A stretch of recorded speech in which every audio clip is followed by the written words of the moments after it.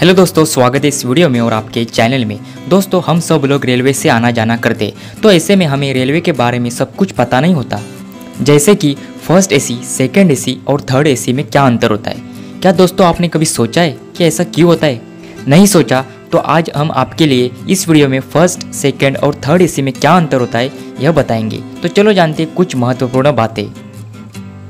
तो दोस्तों, वीडियो शुरू करने से पहले अगर आपने इस चैनल को अभी तक सब्सक्राइब नहीं किया है तो प्लीज़ सब्सक्राइब करो और उसके साथ जो बेल आइकन है, उसको भी क्लिक करो ताकि नेक्स्ट वीडियो की नोटिफिकेशन सबसे पहले आपको मिलेगी। तो दोस्तों, पहले हम फ़र्स्ट एसी के बारे में जानेंगे। तो फ़र्स्ट एसी रेलवे का सबसे महँगा क्लास है। इसका टिकट प्राइस भारत के एयरलाइन से कम नहीं होता, बल्कि तकरीबन उतना ही होता है। यह कोच पूरी तरह से एयर कंडीशन होता है। आपको इस कोच में 18 से 24 सीटें मिलेगी।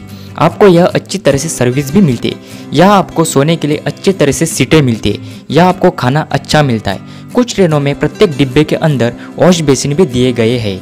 इसके साथ एक वॉशरूम भी होता है, जहाँ आप नहा सकते हो यहाँ बैठने और सोने के लिए अच्छी तरह से सीटें कंफर्टेबल होती है।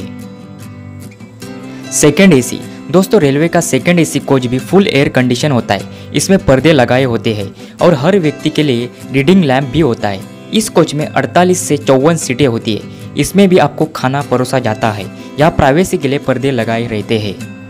Third AC. दोस्तों, थर्ड एसी में भी एयर कंडीशन होता है। इस क्लास में ज़्यादातर लोग सफ़र करते इसमें आपको कोई रीडिंग लैब नहीं मिलेगा। इस कोच में चौसठ से बहत्तर सीटें होती है, या आपको सोने के लिए भी सीटें होती है। इसका किराया भी उतना महँगा नहीं होता, जितना कि फ़र्स्ट और सेकंड एसी का होता है। इस कोच में आपको ज़्यादा स्पेस मिलता है। और इसका टिकट प्राइस कम होने के कारण लोग इसे ज़्यादा पसंद करते हैं। तो दोस्तों, अभी आपको पता चला होगा कि फ़र्स्ट, सेकंड और थर्ड एसी में किस तरह का अंतर होता है।